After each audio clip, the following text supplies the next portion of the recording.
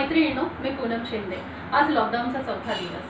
अजून येणारे काही दिवस आपल्याला लॉकडाऊनला सामोरं जायचं आहे आपले स्वप्न आपली आयडियाज याचा लॉकडाऊन नाही आहे आणि इंटरनेट सक्षम आहे आपल्या आयडियाज आणि आपले वेव्स बाहेर पोचवण्यासाठी. सो येणाऱ्या ह्या वेळामध्ये मी खूप साऱ्या झूम मीटिंग्स आणि ट्रेनिंग्स करणार आहे.